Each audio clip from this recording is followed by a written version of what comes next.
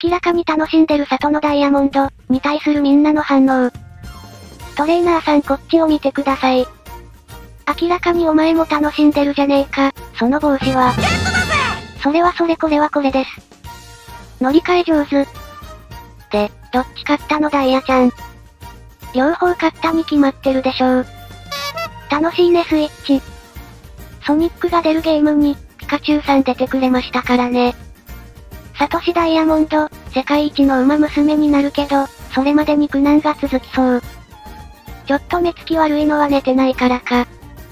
なんだか目がとてもしょぼしょぼします。この帽子の S の字は、ソニックの S です。セガじゃないの？それもあります。バイオレットは実質ソニックなんですよ。あの大人気シリーズが、ついにオープンワールドになったんですよ。やりましょう。いいよねゼルダの伝説。それはそれこれはこれです。子供か、子供だったな。なんとこないだまで小学生だ。夜更かし気味になってしまった。ちょっとウオッカ、どっち買ったのか教えなさい。ウオッカな、なんだよ、バイオレットだよ、照れ隠しにそう答えるも、当然スカーレット購入のためカブルーを出す。あちこち見てみたけど買われてるのはバイオレットかなじゃあスカーレット買おうかな。通信交換での図鑑集めがはかどるからね。ポケモンよりスカーレットの方が好き。ヌオーとなくスカーレットの画像ください。ヌオースカーレット、こうですかわかりません。ヌオダステーキ。一気にミームになって、イラストも量産されたヌオダスの発祥元どこかのか調べたら、経緯を一通り読んでも結局、が浮かび続けることになった記憶。タキオンはゲームしないくせにスカーレット買ってそう。ポケモン初心者のスカーレットくんに、強いポケモンやレアなポケモンを、惜しげもなく交換してあげるタキオン、の裏で、攻略育成捕獲不可厳選の、すべてを担うモルモットくん。でもカフェもポケモンをやってるお知るやいなや、ガチバトルを仕掛けるのもタキオン。スカーレットくん、君のために 6V メタモンを用意したから使ってほしいね将来は WCS チャンピオンで間違いないからね先行投資だね S 抜け 5V も用意して。もちろん S サイチも厳選したよスカーレットくん。おかげでモルモットくんが死にかけだ。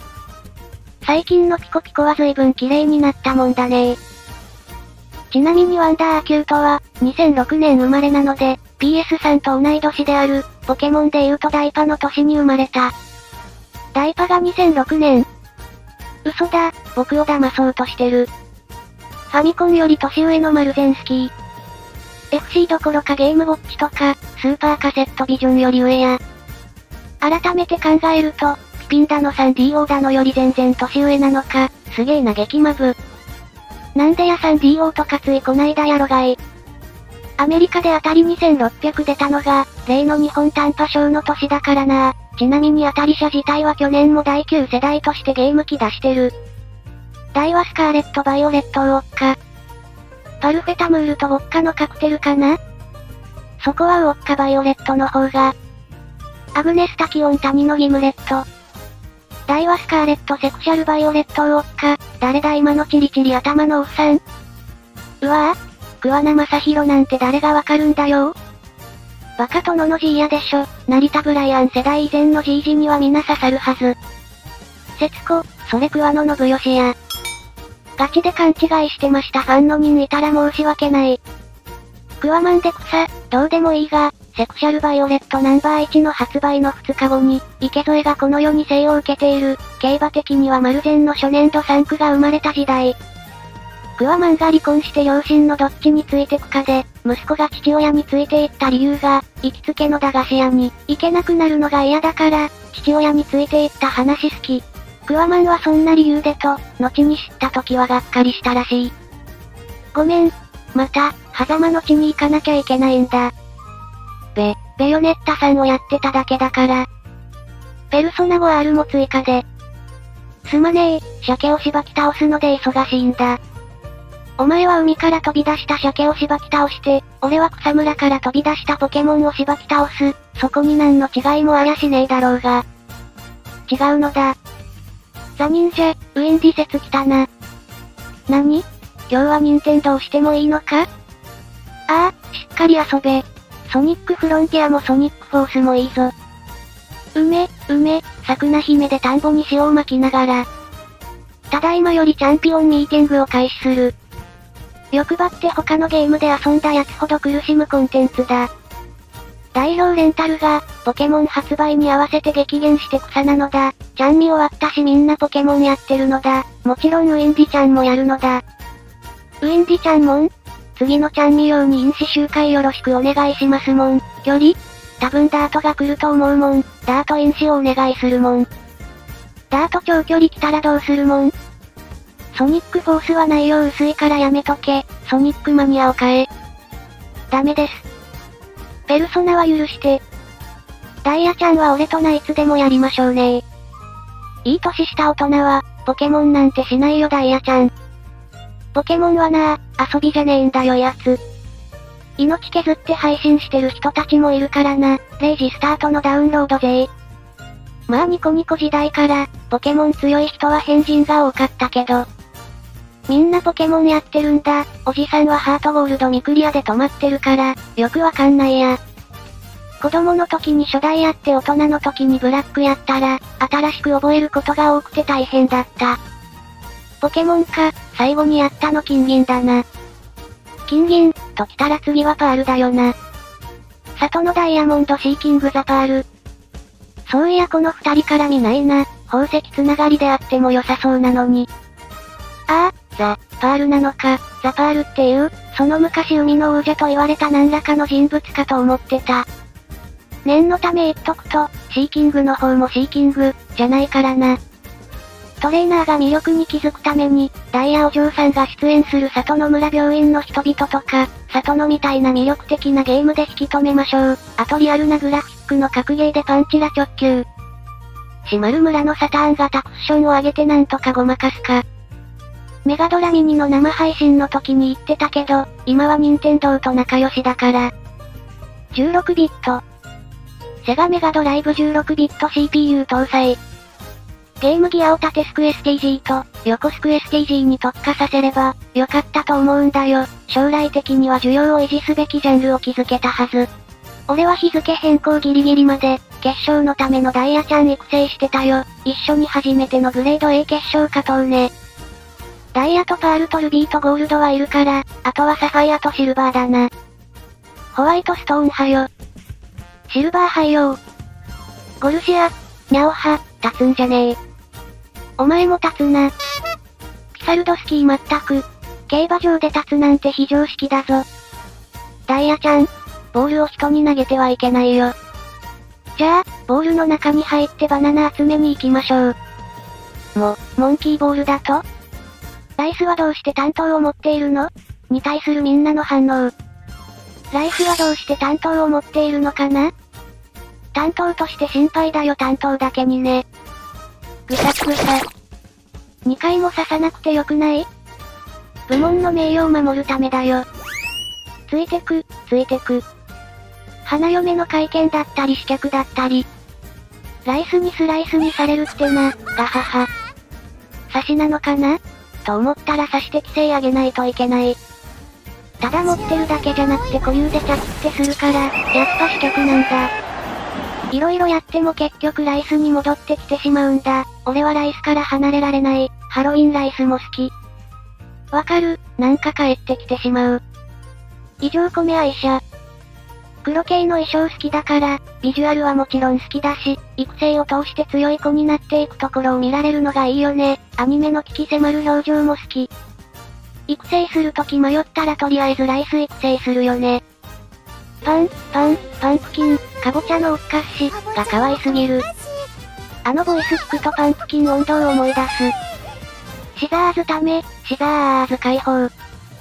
ライスは実馬がレースで勝ったら、めちゃくちゃ褒めて褒めてってして、勝てなかったら落ち込むって知って、なおのこと可愛いと思ったし、お兄様としていっぱい勝たせて褒めてあげたい。菊花賞と春天で勝った時は、手形ならぬ蹄鉄型とサインを、自分を慕う後輩にプレゼントしてたらしいからね。だから運営さん、ステちゃんを実装してください。日本の米は世界一。まあこれは確かに。昔より米食は減ったし他にも使えるとはいえ、炊飯器にこんだけ技術と金かける民もそうおらんからな。朝食はパン派なので、ライスも朝食はパン派ですよ。ライス好きにはいいやつしかいねえ。好きか苦手かで語ると、自分は川上の、パワーで暴走して、反省せずやらかし続けるのがいまいちで、キャラは持ってるんやけど育成する気になれんのやけど、シナリオ見たら変わる？それがまさに川上シナリオの趣旨やぞ。川上をすり抜けで引いたトレーナーの8割が、まあせっかくだから育成するかと言ってゲームを始めて、プリンセスを傷つける奴は俺が許さない、と言いながら出てくる。こんなに可愛いライスにも欠点が一つある、それはうちにいないことだ。お兄様、あのね。ライスあのね。ライスにカフェとブルボンを二つまみすればあら不思議、登山チームの出来上がり、ついてくついてく。担当は相手の体勢が崩れた時に地名入れるためだぞ。急所をついてく、ついてく。トレーナーが勝たせられなかった時の、自責の念からの自決用。そんな相撲の行事さんじゃないんだから。解釈しもす。これは俺の妄想だけど、ライスは花嫁の持つ懐刀として勝負服のデザインに組み込んだけど、それを見た観客たちは死客をイメージした。ということなんだと思ってる。グラスワンダーもなぎなた持ってるから、やっぱ死客的場ゆえの刃物かって解釈しちゃうからねグラスワンダーのなぎなたも、L への解釈用だから。グラスもライスも的場がマークして買ったからね。デジタンは好きに走らせたから武器は持ってない。山ごもりした時に捕らえた獣を裁くためだぞ。罠にかかり血抜きをされたトレーナー。ライスシャワー、どんな理由があっても、馬娘に襲いかかった熊は決して許されないの。これから一方的に丸されるの。悔しいだろうけど、仕方がないことなの。じゃあ、行くね。よく考えたら謎の固有演出。謎演出じゃない方が珍しいかと。これが差し切りシスターズのメンバーの一人ですか？釣りしてお茶飲んでいるか所をやって、宇宙空間失踪して、朝日拝む子だっているのに今更。担当、なぎなた、レイピア、リボルバー、武器持ち馬娘はいろいろいるけど、次はどんな娘が来るのかな？一気に大型兵器まで行って司法ぶっ放す娘が来たりして、怒涛の馬主さんが、大和司法作成に使った旋盤持ってる会社の方だから、別衣装で波動砲ぶっ放す怒涛さんが見られるかも？帽子ちゃんの固有演出には大魔人が出てくるかもしれん。当たった時の破壊力なら、現状最強であろう怒りもいる。弓も武器、川上プリンセスという武器は、弓攻撃など可研修体、関節技こそ王者の技よ。ラーアイス、よくも俺をこんな安物のナイフで刺しやがったな育成結果を採点してやろうか？ズドン100点だよ。ブルボン、来なさいライス、探検なんか捨ててかかってきなさい。ルマンドブルボン違い、それはそれとしてルマンドは好き。お兄様どいてそいつマルセないのため？まあライスにだったら刺されてもいいわ、むしろ刺してくれ頼む。担当ある、担当ある、担当ある。SD、やっぱりセガのパズルゲームは最高ですね。中和剣よりも強し、ん、んーん、名言です。つまり3すくみってこと？先日チャンミルムまで差しライスにボコられたわ。今回は固有が生きるし、スタミナ補正も、2400だと無駄になりにくいからいけるのか？因子をスタミナ重視にすれば、タミナ練習踏まずにいける感じだから、まだ無駄になってる気がする。せめて継承やアイテムのステアップも、補正効くようにしてくれればな花嫁の懐刀定期。あの懐刀は自分を刺すためのものだからね夫以外に襲われそうになった時、純血を守るために自決するためと言われている。それを洋風のウェディングドレスにした勝負服だから、ナイフになったんだろうな。今うちのライスの総獲得ファン数見たら2億超えてたから、1.5億で以上とか、お兄様ガチ勢を舐めてないか。2億がなんだ、ファルコは山頂やぞ。さすがにレース中は、転がったら危ないからレプリカかなんかでしょ適当。日本では刃物が魔除けの象徴として使われてきた。昔は玄関先や葬式前のご遺体のそばに刃物を置く風習があった。また衣装の黒色も魔物が好む色である。要するに、祝福される人を魔物から守るため、黒い服を着て魔物を自分に引き寄せて、探検で追い払うという、間接的な祝福の形になり、ライスシャワーにふさわしい衣装と言える。盗賊の担当だよライス、忍者に転職するね。ハロウィンで首に噛みつく次は、首を跳ねるのかいライス。アーマークラスが下がるからと、全裸になることを勧めるトレーナーが全国で発生。転職した後、エナジードレイン食らって経験値調整するの忘れないでなヴァンパイアライスなら自分で噛めばいいのか？ライスの担当は、トレーナーが不義理を働いた時に、首から上と下のどちらを残すか選ばせるためにあるんだよ。浮気したトレーナーの膝を刺すための探検なんやで。ライス恥ずかしか、生きておられんを、って時に使う。お前ら知らんのか、あれは朝食用のバターナイフだ。開催、トレーナーの主張、に対するみんなの反応。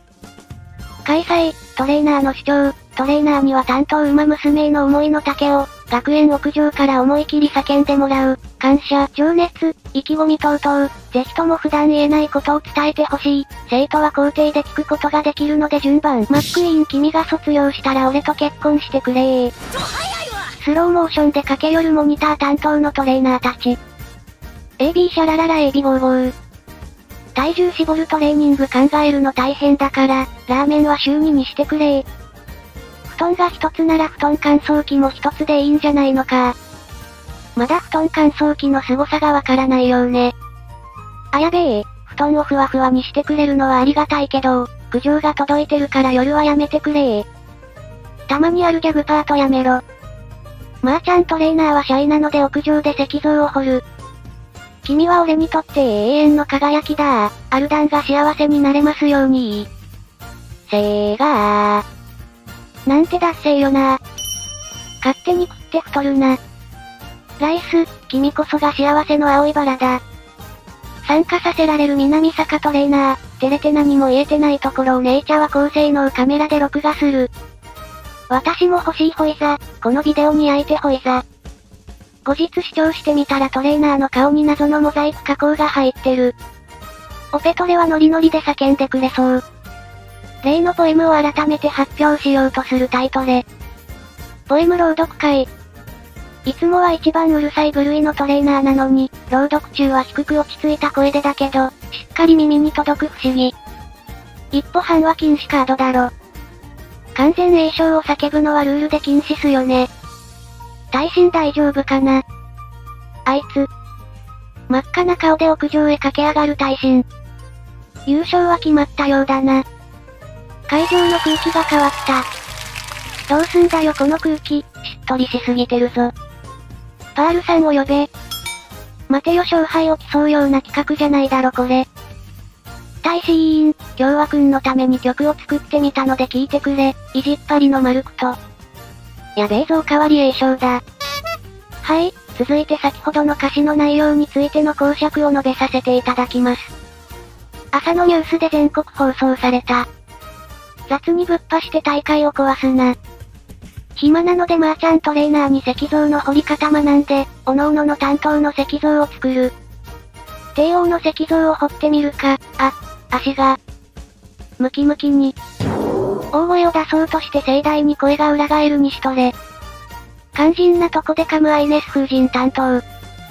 アイネスー俺がしゃ。支えるからはぁなの。黄色いガヤがすごそう。発光信号で思いを伝えるモルモットくん。滝オーン、来週出張があるからその間、頑張って自立生活してくれー。え？ー、カフェ出張一緒に頑張ろうな。え？ー、助けてタマモクロス、でちゅね遊びはまだしも、クリークへの思いを叫ぶなんて恥ずかしくてできない。おかしいやろう。でちゅね遊びしとる方が、よっぽど生き恥さらしとるやろ。エイシンフラッシュ、実は君に一目惚れだったんだ。マルゼンスキー、プライベートはいい。せめて通学は交通機関にさせてくれわかったわ明日も迎えに行くわよ。私は成田ブライアンのトレーナーです。実は黙っていたことがありまーす。なーに？この前のブライアンに出したハンバーグカレー、たっぷり野菜を入れていました。おやって良いことと悪いことがあるだろ。エアグループ、いつもうちの家事してくれてありがとう。料理もどんどん上手くなって毎日家に帰るのが楽しみだ。桜爆心王、君は、3600メートルを走れる、走れる、絶対に、嘘にさせない。はい。爆心爆心爆心。たまもー、今晩何食べたい？たまには定番のものもいいと思うんだ。布団が、布団だ。ルドルフダジャレ T シャツは勘弁して。壺は、もう、買うな。稲荷今度北組と構想あるんだけど、帰りに何か買ってきてほしいのある？稲荷海外遠征行くなら一緒だからな稲荷おぐりご飯食べに行くぞ。どうも皆さんこんにちは、アストンマーちゃんのトレーナーです。今日は僕の担当している、アストンマーちゃんをご紹介します。皆さん、アストンマーちゃん、アストンマーちゃんをよろしくお願いします。どうぞ売って小銭できたから、ご飯食べに行こうな。アーティステス、昔の自分に戻りたくないよね。キラキラな自分になりたいよね。オペラ王たちへの恩返しにもなる、怒涛は強い、諦めたりなんかできないよね。録音するモブウマ娘たち。おいエッチなドラマ CD を校内放送で流すな。キング、君が一番、一流だ原作の方で先生が、お前ら、恋愛だの青春してるんだろう、俺もしたいぞ、と素直な叫びを響かせたのを今でも覚えてる。テイリスシンとブハイやリビーンアープサドフ。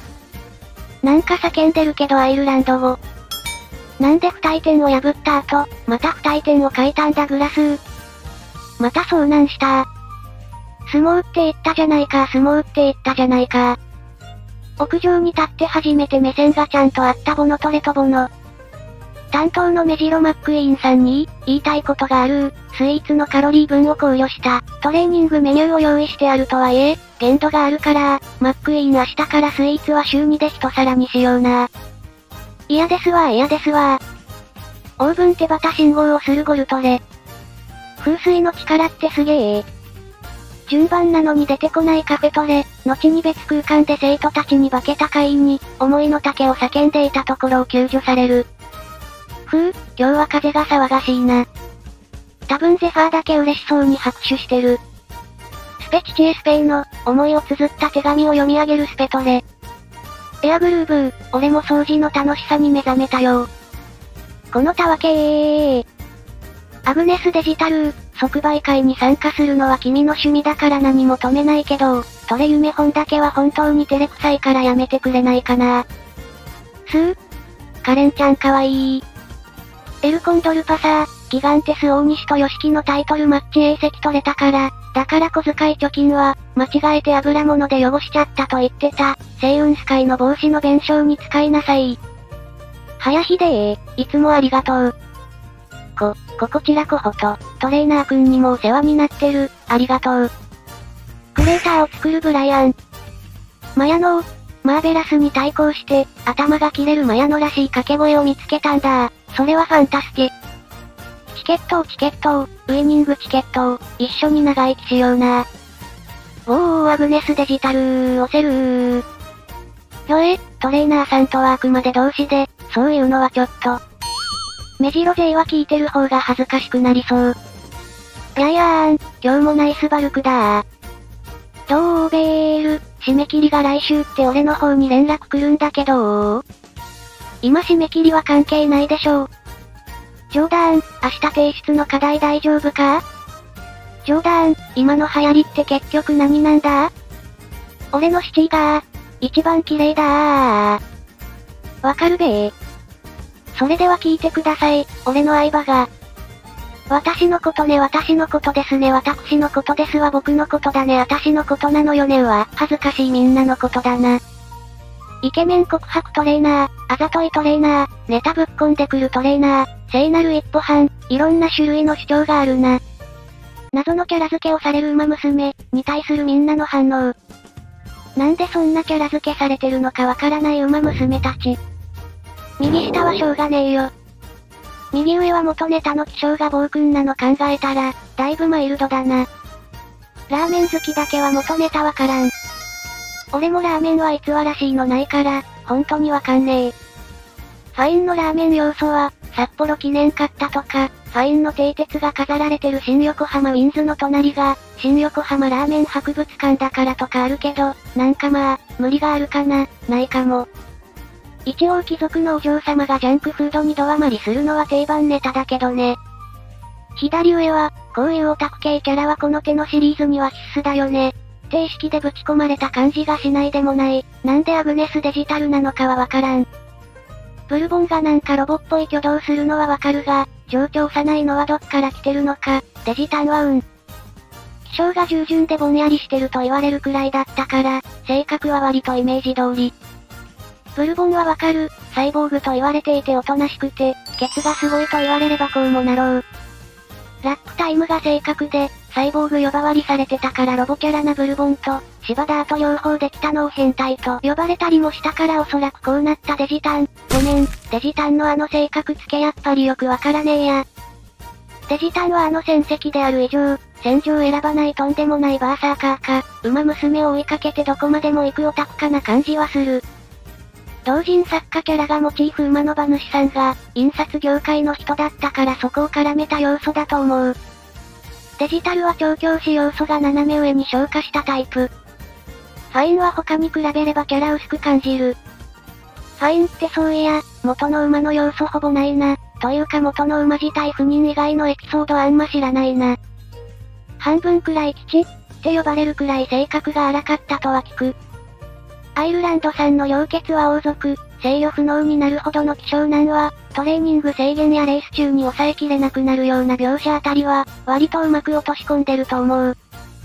ファインも原作のやべえ気象が、完全に無視されてるわけじゃなくて、ちょっぴりの傲慢さ、わがままさだとか、抑えられない衝動に変換されてるし、希少難を良い方向性で色々なキャラ付けに解釈するのがうまい。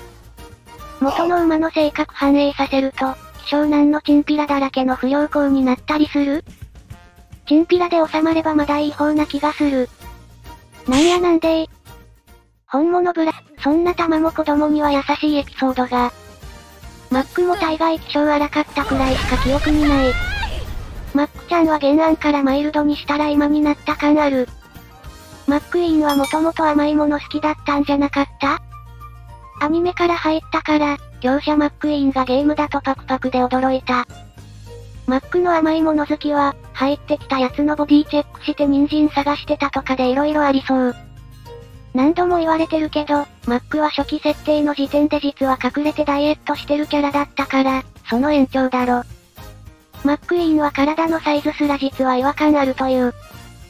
そういやマックちゃんはなんでコンパクトボディなデザインなんだろうね。いや、馬体を巨乳や高身長に落とし込んでいくと、そんな子ばっかりにはなってしまうが。それでもマックと北さんはクリーク並みに持ってほしい気持ちもあるんだ。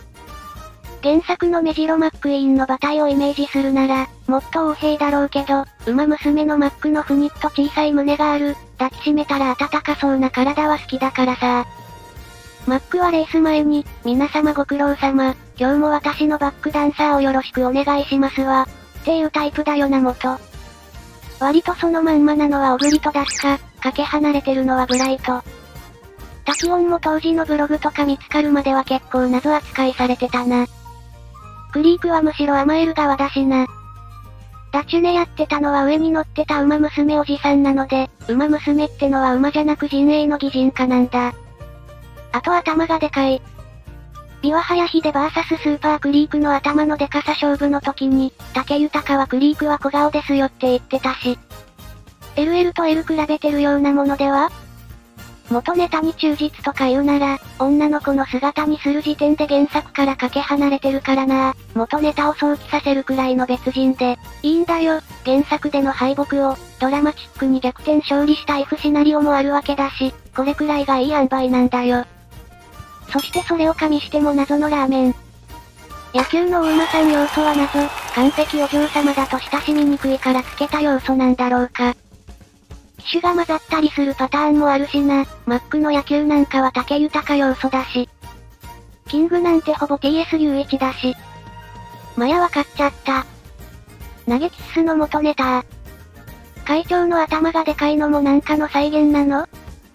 本馬が賢かったからな。原作通りなら会長があれだから学校が修羅の国になる。表面だけいいこぶってて、本性は暴君の会長か、ごくり。原作に一番忠実なのはゴルシ。ターボがビビリキャラじゃないのは、カブラヤ王で使うからと思いたい。福来たるあたりの、場名からひねり出したあたりはちょっと苦しい。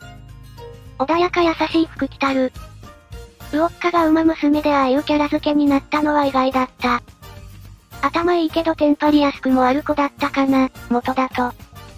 ローテ再現は、馬娘本人かトレーナーかに陣営ソウル混ぜないといかんからな。うららは原作だとあんま人懐っこくなくて、走るのもそこまで気が向いてなかったんだっけ？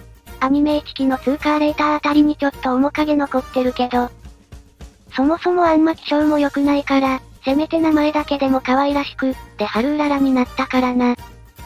まチタンあたりはいい感じでは。そういや雲ネタの元たどったら、救務員あたりへのインタビューでの適当なジョークが元っぽいなあれ。原作スペちゃんって結構気難しい性格だったと聞くけどそうなん馬娘の方では主人公な性格してるのにな、スペシャルウィーク。L は性格的にはすごいしっくりくるんだけど、冷静に考えるとマスクがいきなり生えてきてるのが笑える。原作でめんこしてねえじゃんってなるお約束のやつ。プロレス要素が生えてきた結果なんだろうな。プロレス要素どこからだ？メキシコといえばルチャリブレだし。アメリカ血統、日本人馬主、馬名がメキシコ民謡、比較時メキシコピックアップだったか。実はアンデス民謡風なのでメキシコはかけらも関係してないという。玉の関西弁キャラも謎だな。生まれも育ちも北海道。名前は四国で調教師は宮崎。安城は京都生まれの愛知育ち。馬主も在住は京都。どっから来た？一応関西場だから、そんな馬いっぱいいるけど。立東領全員関西弁の世界も、それはそれで面白そうではある。なんでやねん。元馬の見た目や性格やエピソード、血統安城戦績調教師馬主世間のイメージ、メディア馬名自体の由来、パッと思いつくだけでもこれだけアイデア取れるものがあるな。なんだかんだふわふわしてた1期あたりから、2期アプリまでに、馬娘としてのキャラ付け固めたのは馬4の、影響が大きいと思う。ちょっとネタ多めでに日常格納あの話数やれば、言動性格関係性おおよそ固まるよねと。まあゲームにする都合上走るの好きじゃなくて、弱いキャラとかどうしたらいいんだって話だから。しかも借り物のキャラなんだから、下手にやる気ないとかそういうキャラ付けしないしな。スイープとかも普通にやったらただの嫌なやつになっちゃうから、用事にして丸くしたみたいだしな。何でも忠実に再現したものが必ずしも面白いとは限らないしね。ふと思ったけど、俺馬娘でこの子いいな好きだなって思った要素、原作関係なくゲームで付けられたものばかりだわ。いっそのこと麻薬じゃなきゃ、馬娘で勝手に付けた要素でもいいと思うよ。それこそラーメンみたいに。元ネタありきの擬人化ゲームで言っちゃあれだが、だいぶ競馬とは切り離して、というか、競馬のいいところだけつまんで楽しんでるしそれが正解だと思う。今のところは住み分けしてるけど、このペースで許可が下りるとキャラ付けのネタ切れしそうだなって。キャラ付けもある程度は原作に配慮しなきゃいけないけど、肝心の元ネタが希少なんばっかりってのは大変そうだよな。八重の無敵みたいに、馬娘になったおかげで人らしい理性がついた奴ら結構多い。TTG から現役まであるから、ネタが切れる心配なんてないかと思うけど、似た子は出てくるかもね。っていうか、言うほど原作の馬も、奴隷一頭として似た性格してる奴はいないってほど、バラバラなわけじゃないからな。ゲームキャラにするために違いをつけないといけないのは大変そうだ。早秀とブライアンの実家って元ネタある？に対するみんなの反応。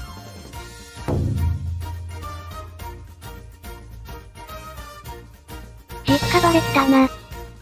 酒屋なのか。酒屋だったのか、大臣は花屋でチケゾウの実家ってなんだっけ親父がスポーツトレーナーだっけ酒造会社だっけかなんか工事系じゃなかったか成田の人って。岩早秀と成田ブライアンは、確か馬主が違うからよくわからんわ。母馬のパシフィカスも、酒屋関係の言葉じゃなさそうだし。兄弟の母親パシフィカスの生産者が醸造関係だった。エドワード・プランケット・テイラー1923年、テイラーはその家業の一つで、父が社長を務めるブレーディング醸造所の取締役に就任した。おお、そうなのか。はい。細かいネタ拾ってんなこういうのがスルッと出てくるガチ競馬兄貴が、こんな場所にいることにびっくりする。ほんと何にでもガチ知識に来おるよな。なん J で野球の話してても、さらっと数字とか記録出すに来おるよな。知識するするにきほんとどこにでもおるな。有識者たちに感謝。七看馬だけじゃなくいろんなお酒出していいぞ。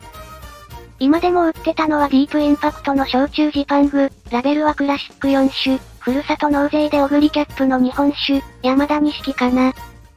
さだまさしが鳥取砂丘で出会った高いサミと、鳥取は大谷酒造の高いサミ。不思議な縁を感じる。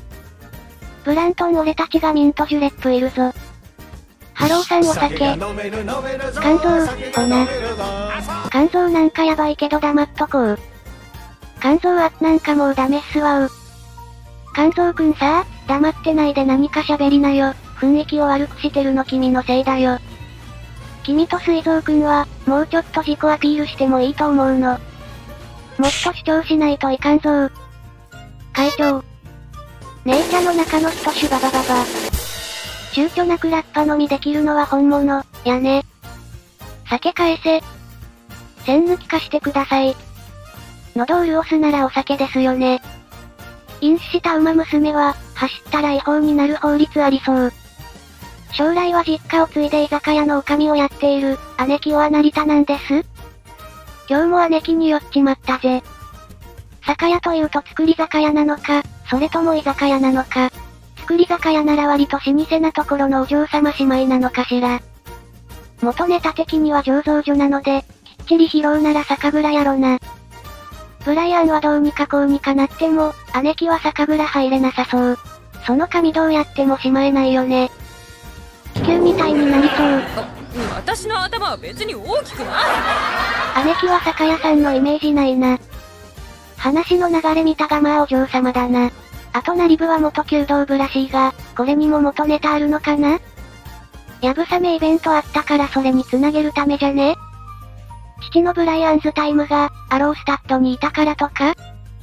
早秀とブライアンといえばパシフィカスだしな、あまりにも偉大すぎる繁殖品馬。馬主違うから檻設定だと思ってた。パシフィカスから持ってくるとはこの海の利白。そんでもって半枚はキャットクイル、姉妹でダービー馬、他クラシック勝ち馬の母とか偉大すぎる。絆とファレノプシスが兄弟だったのは驚いた。重賞馬を1頭出すだけでも、繁殖牝馬として大成功なのに、年度代表馬3頭出したのは偉大すぎるね。列定扱いのビワタケヒデちゃんブライアンの前提も、重賞買ってるしすすぎる。重賞買ってもダメ扱いとかハードモードすぎる。この画像の後に平和酒店とか言ってたから、商店っぽい。その酒屋の名前が平和なのは、パシフィカスの母名、パシフィックプリンセスのパシフィック、平和な穏やかなから来てるとも見たな。なるほどパシフィカスから平和か。これは和歌山の平和酒造とコラボ来るか？というかパシフィカス自体が、パシフィックと同意のラテン語を英語表記したものだよ。そう名付けた由来自体は、当然母名からだと思うけど。そして完全に余談だが、平和の海とか言ってたあれ、そもそも太平洋がそういう意味なんだがう。姉貴、兄貴は酒が好きだが弱いらしい。あとはわかるなああ、急性アルコール中毒になったら大変だから、チェイサーをそばに置いて度数の低い酒を飲んでもらおう。いや、優しいな姉貴。無論だ。空腹時の飲酒は避け、合間に水を飲む。脂肪分やクエン酸の摂取も効果的だ。なんか8匹て、当時やってるブライアンの幻が見えた気がする。普段は大酒飲みの酔っ払いだが、指導となると経験の豊富さと知識で強敵になる、渋い声のライバルトレーナーとかこの先出たりするんだろうか。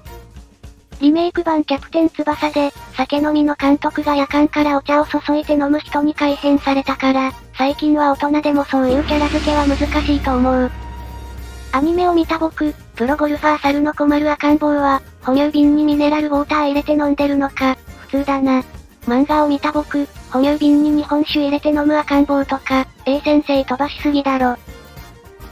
馬娘の口噛酒とか、どうだろう？ファルコンのお口はゆるゆるだから。現実世界には、馬乳酒というものもあるのだが。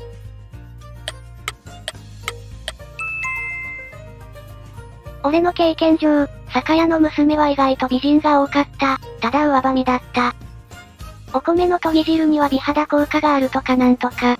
だからかな二人とも酒強そうやな。飲める年齢になって、それぞれのトレーナーと差し飲みしたら、トレーナーの方が先に酔いつぶれそう。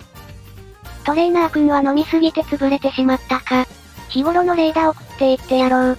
それがいい、こっちのトレも潰れてしまった。私はまだ飲むから先に、行っててくれ。おやすみ、姉貴。ああ、おやすみブライアン。ガチャブライアン、運よくタクシーを捕まえたぞ。二人一緒に送ってやろう。でも EP テイラーが元ネタなら、悲惨デーの祖先みたいなもんだし、多くの馬娘の家が酒屋になっちまうなう。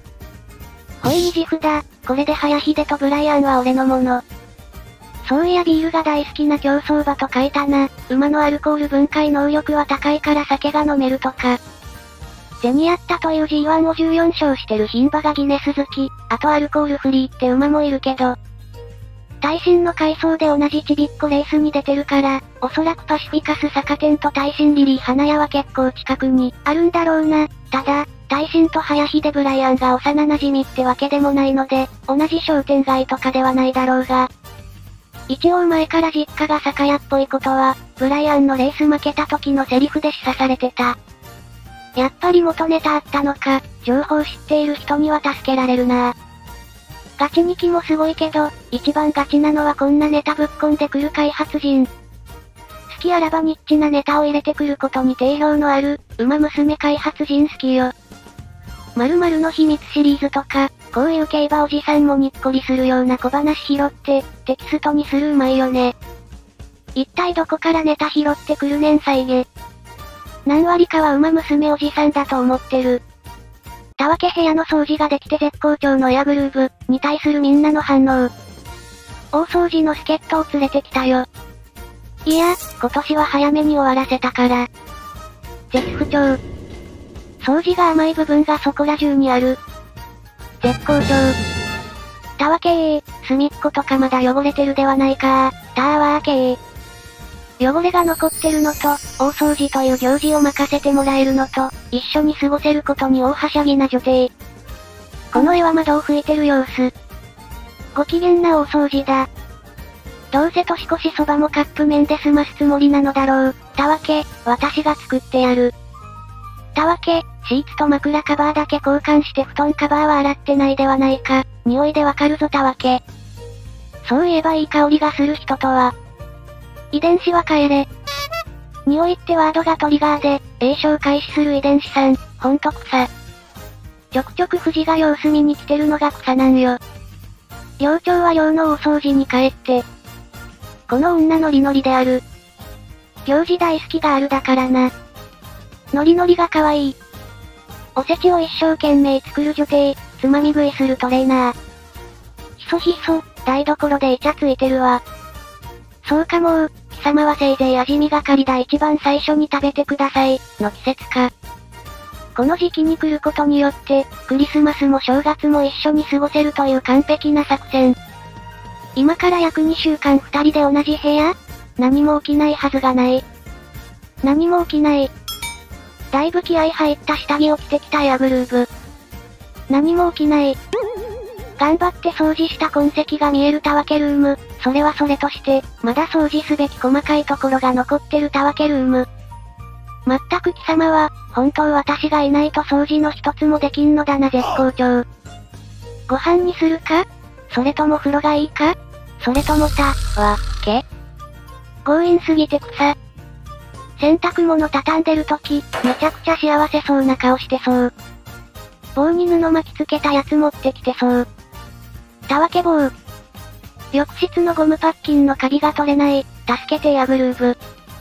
泡タイプの漂白剤を拭いたら、キッチンペーパーを貼り付けて放置しろたわけ。年越しなのに、蕎麦も餅もないって知ったら怒りながら、嬉しそうに一緒に買い物に行くぞたわけ。とか言いそう。窓拭きの時思わず尻尾が揺れる女帝。三角筋越しにピコピコ動く耳。これは内なるたわけがエアグルーブしてるだけだから、本当は窓拭きに合わせて、尻尾が揺れる程度だよ。できるたわけはわざと掃除を甘く済ます。たわけが自力で部屋をピカピカにできたらどうなる？ふ、笑わせるな。実際は、エアグルーブ私が育てたって顔しそう。掃除への本気具合からパンツスタイルか、それともそれをねじ伏せてスカートか。掃除については妥協しないから、ジャージできて終わったら着替えてきそう。え？掃除終わって、頑固な汚れだったなって悪態つきながら、バリバリに決まった私服に着替えてくるの？汚れてもいいよ着古した上下で掃除するから、伸びた襟元から覗くパイやきっちりしてる下半身を、意図せず見せつける女帝。終わったのに解散せず着替えてからまた着てる。たわけ、着てきたのをこっちで汚れてもいいように着替えて元に戻っただけだ。それにメイクは元より薄くして、掃除が終わったから直したのだ。掃除してもらったお礼に、うまい飯でもおごるか。エアグルーブはいい奥さんになりそうだな、とつぶやくたわけ、絶好調になる女帝。万が一があるかもしれんからな、と意気込んで出向く女帝、もちろん万が一はない。部屋に自然に行けている時点でだいぶ進んでいるな、ブライアンはそう思った。ファルコンさん、トレーナーさんの部屋の大掃除に挑戦するも、静電気に先を越されたって、何がどうなったらそうなるんですか？たわけがすでに大掃除した理由が、実家に帰省兼両親への担当を紹介とかだったら、絶好調になるでしょ？でも、グルーブが来ると思って掃除しておいたんだって言ったら、やる気アップするんでしょう？たわけはたわけたやつだから、エアグルーブが好みそうな部分を残して掃除してるよ。たわけが無夫な本を隠していたのを見つけて、どんな表情をする女帝も美しい。私というものが、まで行ったところで出現に気づき、引くも進むもできなくなり顔を真っ赤にする女帝からは、豊富な栄養素を摂取できると言われている。でもベッドにルパンダイブすると怒られるたわけ。掃除用具を自前で持ち込むも、なぜか消臭剤の類だけ極端に少ない女帝。エアグルーブの機嫌が悪いから、今から部屋を汚くしたまえ。会長あたりから、日頃の掃除を欠かさないのはいいことだが、少しだけ掃除する余地は残しておいてくれないだろうか、とお願いされているたわけ。コパー待って、エアグルーブさん、その部屋の片付け方だと風水が、気の流れが、ベッドは一つでいいのに。片付けなのになぜベッドが増える事態に？初期の頃は万が一がないからこそ、安心して掃除していたが、最近は万が一がないからこそ、機嫌も少し悪くなるエアグルーブ概念が、私の性癖にドストライクなんです。ブライアンのお世話もしてあげなきゃいけないしな、大変だエアグルーブちゃん。ブライアンは最近ストーカーに悩まされているみたいだから、ちょうど良いんじゃないかな。G ブライアン、窓に何かいるような、絶対に目を合わせるな。もう窓に雨戸かシャッターつけなさい。馬娘相手じゃ気休めにもならんが。たわけが掃除する前に来る、ちゃんと日頃から掃除していないから気がめいるんだぞたわけ。さっさと始めるぞたわけ。二人でやればすぐ終わる。たわけが掃除している最中に来る、手こずっているようだなたわけ。手を貸そう。たわけが掃除後に来る、こんなのでクリスマスと新年を迎える気か？掃除のやり直しだったわけ。大掃除が終わったら、一緒にディナーに行こうというトレーナー、勝負下着を履いてきて正解だったと内心ガッツポーズの女帝、ディナーだけで門限に間に合うように帰宅する二人。娘の幸せそうな姿を見て、クールに去るダイナカールさん。掃除しに来るときは、すでにメンタルが荒れてるからな。妖精の風紀の監督。この場合の風紀は、バンブーさんがそっとするような風紀だがな。待ってほしい、そもそもトレーナーの部屋に、担当馬娘が掃除をしに行くことに、誰も突っ込んでいない。うん？夫の家は妻の家でもあるし当然では？エアグルーブに限っては、本編公式のストレス解消法だし。だって前なんか、ダイヤと北ちゃんがトレーナーの部屋掃除してる。こんな散らかってこのたわけが、はあこんな散らかって仕方ないの。やらないではなく、やれるけどやらないでおくのがミソなのです。この後、年越しそばも一緒に食べるんだよね。大掃除買い出し、おせちの準備と、大騒ぎして、こたつで二人紅白見て近所の神社に2年参りに出かけて、この間女帝の尻尾はブンブンしっぱなしです。なぜ釣らないのかは、馬娘七不思議の一つです。これ女性トレーナーだったら、教え子の女学生に、掃除の面倒見られてる概念が発生して、本当にたわけてるよな。エアグルーブを男トレで育成してる奴は、ギャルゲーがやりたいだけのにわか、彼女の本当の魅力を知っている人は、女トレを選ぶ。天才かよ。こういうの読んでると、たわけってどんな意味だっけ？って思えてくる。た、他人行儀はやめろ、は、私にもっと世話を焼かせろ、け、結婚もやぶさかではない。アニメ馬娘で実は一番〇〇だったシーンに対するみんなの反応。馬娘見てたんだけど、このシーンみんなにめっちゃネタにされてるから、どんなシーンなんだろって思ったら、めちゃくちゃ良いシーンだった。いいシーンだよ。でもなんかマックちゃんの目がすごい。阪神勝ったらそれぐらい感動するんですわ。阪神勝利速報。阪神勝ったの？負けてる時の表情かと思ってた。ちょっと表情に力入れすぎてたシーン。目見開きすぎじゃない？と正直当時思ってました。ギャグシーンで、こんな気合い入れた表情は書かないからな。マジでなんでこんな良いシーンなのに、ネタになってるの。笑うシーンかと思ったら、めっちゃいいシーンで正直泣いた。知らなかったのか、皆はいいシーンほどおもちゃにする。あげません、は完全にギャグシーンだし。ここに関しては、放映当時からこの表情おかしくない？と言われてたし。スペが泣いて帝王にすがるシーンとかすごかった。いいシーンなんだけどすごかった。もっと美しい泣き顔は、雨の時やっちゃったからな。雨のマックイーンに手は差し伸べるけど、引っ張り上げないで一人で決意込めて、歩いていくの何かいいよね。マックちゃんが決意してスタンド行くまで、何キロ走ってるんだ帝王たち。ここみんな、なんか泣きすぎてて白心通りすぎて、ギャグに片足突っ込んでるのがすげえ気になったんだよな。見終わったからマジで色々感想言いたいことがある。マジで早口で長文レスしそうだから抑えてるけど、このシーンいいシーンだろ。抑えるな吐き出せ。壁に貼られた、目指せ無敗の三冠馬娘、いいよね。壁に貼られた、目指せ無敗の馬娘、いいよね。目標どんどん下げてく標語いいよね、よくない。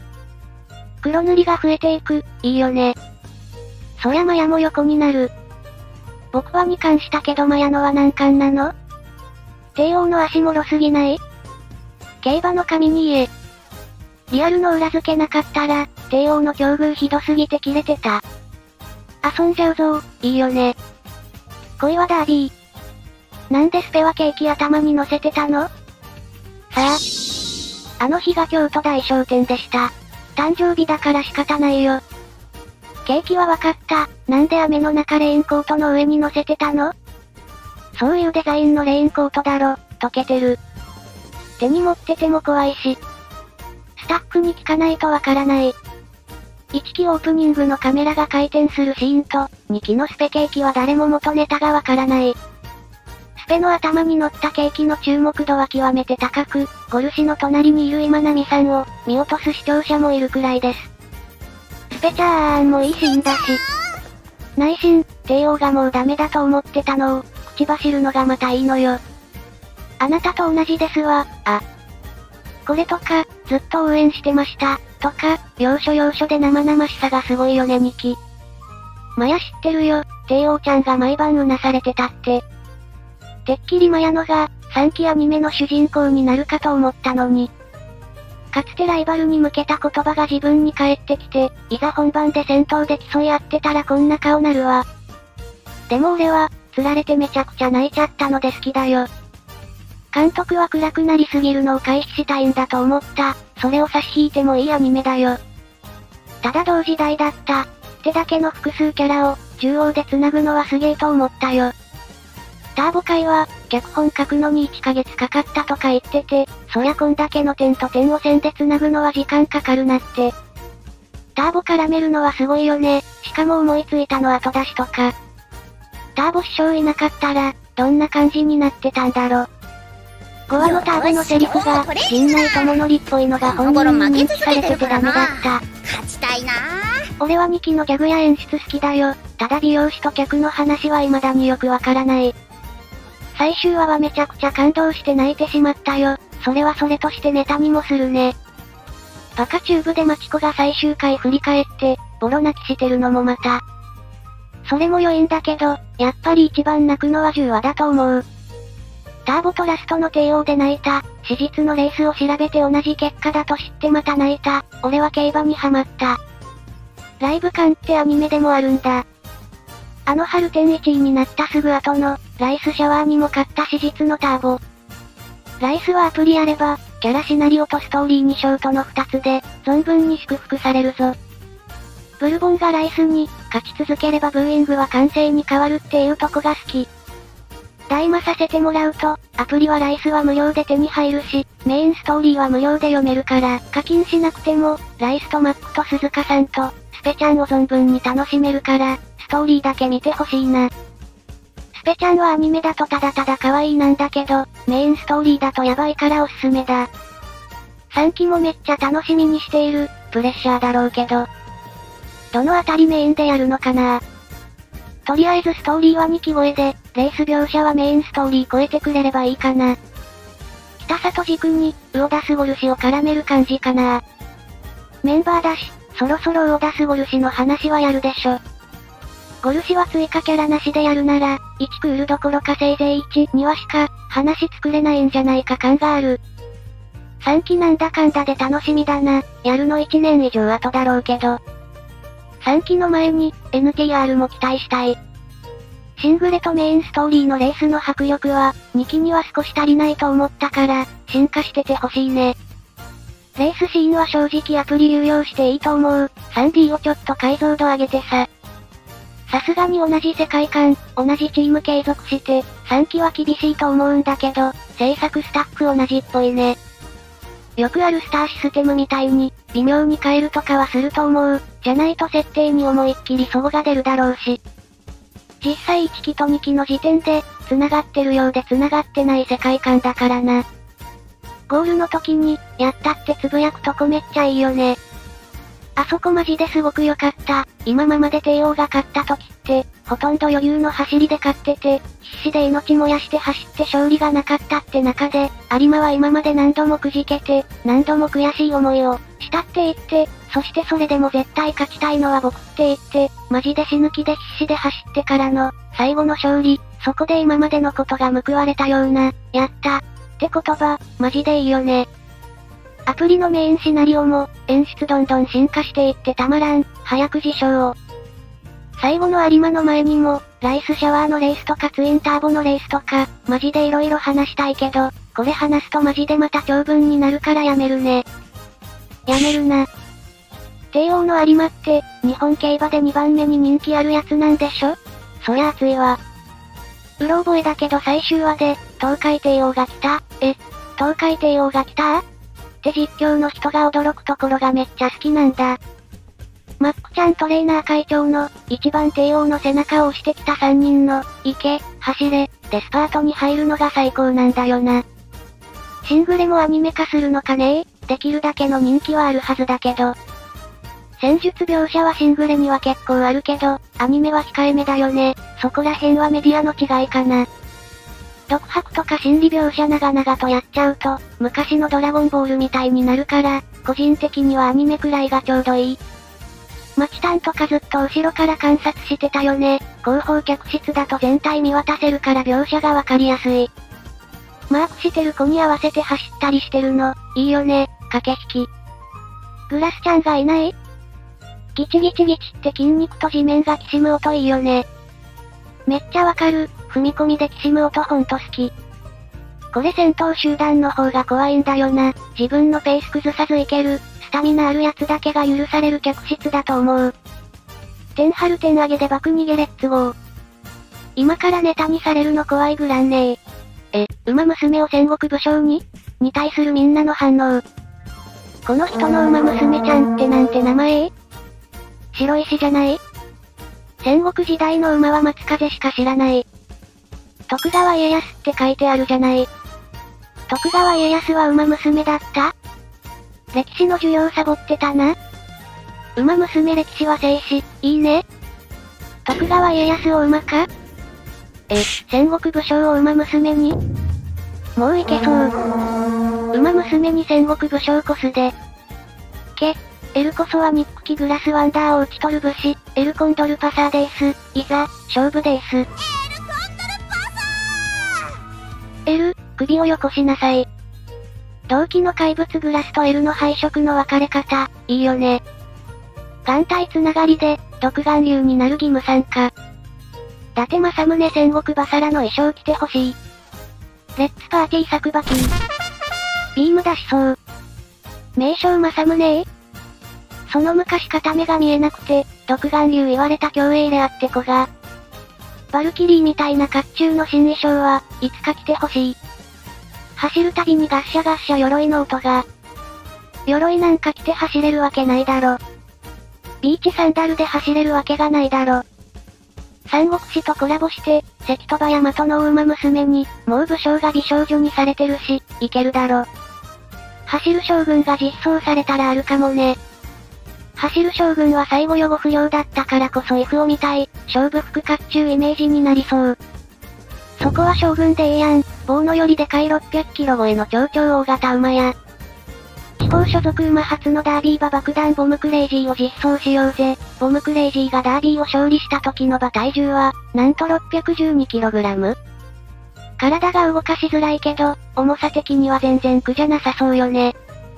ハードバージ無理だぞ。散々女体化された10年、新たに開いた扉は馬になって女体化すること、扉って開けようと思ったら、無限大。妖怪の形で異常現象の女体化とか、大昔からあるしな。歴史に名を残すとフリー素材にされてしまう。終身名誉フリー素材織田信長。うっかり歴史に名を残すと恐ろしいな神聖モテモテ古事記にもそう書かれている。あれは孔明だったけどな。そして三国志よりも先に江戸時代に女体化されてた水子でね。松風ちゃん実装不可避。つまり、新山大先輩が、松風というワードで、松風バジセンターを思い浮かべてしまう。実際総大将スペは、雪村感ある。もろそれだとしか思えなかった。スペ親方様鈴鹿さん。鈴鹿スペちゃん負けないぐらい大きな声で、ペ親方様は鈴鹿さん右ストレート。オペは直江兼次やってほしい。愛だよって言ってほしい。嫌だよ、戦死者の遺族を家族の元に送るスペちゃんは。君のように逸話を知っているトレーナーは綺麗いからく。直江兼次さんめっちゃ煽り中だからな直江城、ちょっとキャラ違う。伊達ちゃんおいごらー、また物の分際で殺害しねえとは、どういうつもりじゃい山城は？伊達様？こやすまんですのう。尻尾巻いて逃げてる時しか見とらんから、顔知らんかったわ。調子に乗んな。あの愛はあたご権限由来なので、愛とか関係ないんやぞ。彼が心情とした人愛や友愛が由来という説もあるよ。オーナー、調教師ともに出身鹿児島ということは、島津か。大将首だなお前大将首だろう主置いてけ大将首置いてけ。池月、スルスミの宇治川ステークス。池月は池月ともかくが、一般には池月として知られている。その由来は希少難の暴れ馬で、まるで生肉でも食いそうだと言われたことから。生肉あげたら食べそうと、当時調教助手の池康俊現調教師が述べた、黄金予定もいたから、昔にいてもおかしくはないね多分。軍馬は噛んだり蹴ったりするのも仕事のうちなんだが、日本は暴れ馬を乗りこなすのがステータスだったために、看馬が好まれ、そうなるように調教してた国だからな。ギリシャ神話でも人食い馬はちらほらいるしな。武将といえば謙信公とかもおるしな。信玄もおったぞ。川中島ステークス右芝2000メートルを作るしかねえな。川中島ステークスは、過去1回だけ新潟ダ1200でやってるんや。ホンダムの演者はブルボンだろうな。ダディ、ホンダムおる戦国レース、つまり戦国シャトルランだな思うんだ。シャトルランしてたら思いがしないのでは？鎧着て走ってる最中に、キャストオフ、とか言って鎧脱いで水着になるの良さそう。光る審議ランプ。人馬一体、肩車で馬娘と仲良く遊ぶ戦国武将の図。森長義トレーナーを肩車して、石段登りきる馬娘百段。森くんいらなくね？屋根の上から人間射的大会するときに必要。突如頭の上に出現したバナナと合体するビワハヤヒデ。ナイト・オブ・スピアー。鬼影ちゃんとか強いのかな？馬をハーレーのように乗りこなし英語を駆使しレッツパーリー、ウォッカ。日踊り越えの、坂。高低差200メートルの坂。弓取り会長でいいんじゃね？弓騎兵はあんな感じだったんだろうな。マスターアジアみたいに、固有発動で馬を呼びそう。戦国無双と JRA コラボ古くて、立花宗茂が未実装なんだよな織田信長さんくらいの戦国武将なら、すでに馬娘化されててもおかしくない。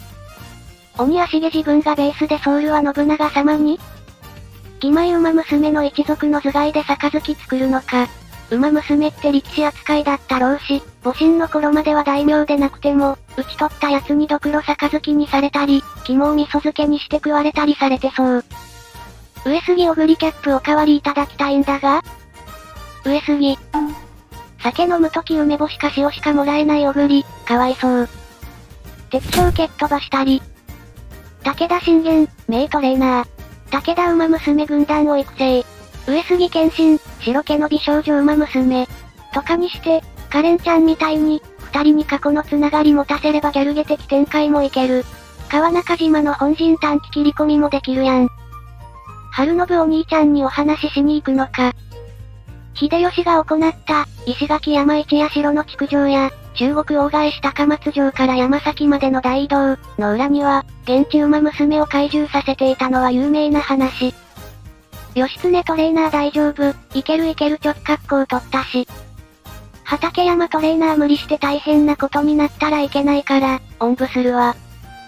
VR 生まれーターに巻き込まれるのは、毎回グラスと L という風潮。グラスワンダー定期。うまぴょいうまぴょい。L。腹を召されよ。腹を切れでいいかと。昔の日本のお馬さんは小さかったと聞くが、つまりこれは140センチメートル台の馬娘が、量産されると考えてよろしいか？ああいいっすね馬ネスト2の行き先決まったな。武将はフリー素材だからいけるいける。もう何のゲームかわかんねえなこれ。ご視聴ありがとうございました。また次の動画でお会いしましょう。ウマ娘の解説動画も上げてるので、他の動画もぜひ見てくださいのだ。ぜひ、高評価、チャンネル登録お願いしますなのだ。最後までご視聴ありがとうございましたのだ。